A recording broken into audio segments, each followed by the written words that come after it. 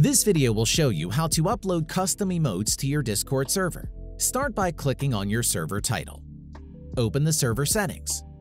Switch to the Emoji tab via the side panel. Click Upload Emoji. Locate and open the image you want to use as your emoji. Select the emoji alias and set the name you want for the emoji. Close and your emoji will now be added.